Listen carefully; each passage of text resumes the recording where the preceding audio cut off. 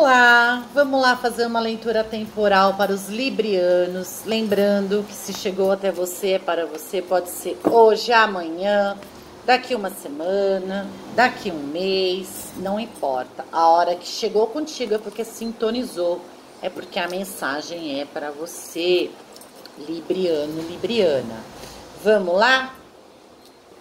Começando, ui, dizendo aí que tem novidades no amor para você, notícias chegando fresquinha no campo das emoções no amor, podendo aí algum relacionamento recente chegando para você, pessoas novas talvez, mostrando que a sua colheita será farta em tudo que você já vem trabalhando, Libriano.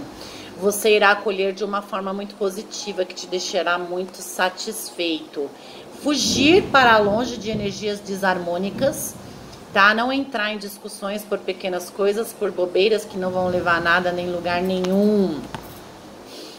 Ah, meu Deus, a rainha de copas trazendo aí um mundo de sonhos, uma energia acolhedora, o mundo das emoções aí trazendo uma, uma realidade bem maternal e acolhedora para os librianos, tá? Cuidado apenas para não ficar muito no mundo dos sonhos e fora do mundo do, do, da realidade, pisar mais no chão, tá? Porque aqui a tendência pode estar tá em sonhar muito alto com amor, não falar o que está pensando e aí não acontece, a outra pessoa não está nem sabendo ficar com tendência aí ficar com depressão porque alguma coisa ou outra não realizou. Então é falar mais, porque aqui está interiorizando demais os sentimentos, sonhando e não comunicando o que quer aí, né, no relacionamento. Energia de equilíbrio. Vem aí uma harmonia, pede que você fuja dos extremos, traga o caminho do meio, o equilíbrio, onde vem aí uma energia, pode ser até demorada para as coisas acontecerem, mas trazendo todo um equilíbrio para sua vida que é super necessário. Então pede que você combine as coisas direitinho e traga aquele equilíbrio tão tão salutar, né, que é pra gente. Vamos fechar com mais duas, mais três? O arcano da justiça dizendo que você pode estar passando por algumas coisas aí de lei de causa e efeito, porque esse arcano aqui da justiça é o que tudo vê, mas pede aqui que você dê uma reavaliada na sua vida e seja imparcial, tá? Traga aqui o que são seus direitos, o que são seus deveres, seja realmente imparcial e dê uma reavaliada em tudo na sua vida, certo? Vamos fechar com mais duas.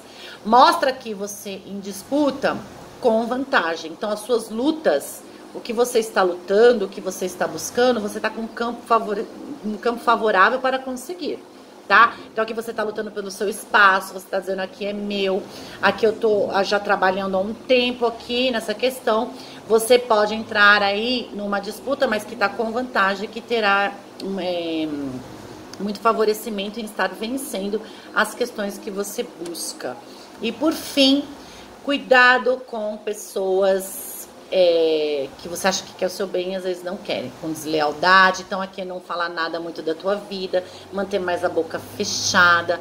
Aqui, quanto mais você manter os seus projetos em segredo, é melhor, porque de repente pode ter alguma energia não muito legal aí perto de você e você não está percebendo.